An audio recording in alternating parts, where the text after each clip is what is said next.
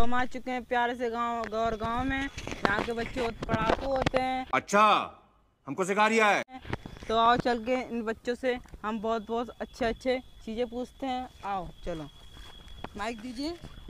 तो बच्चे A B C D में कितने अक्षर होते हैं क्या आपको पता है? शर्मा क्यों रहे हो। तुम दिल खोल के बोलो।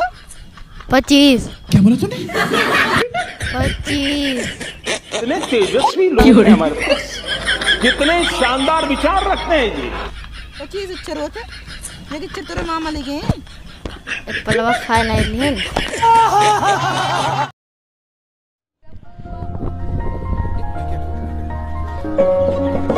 अर्ज़ किया है हम तो बिना चप्पलों के भी चल सकते हैं पर चप्पल हमारे बिना नहीं चल सकती।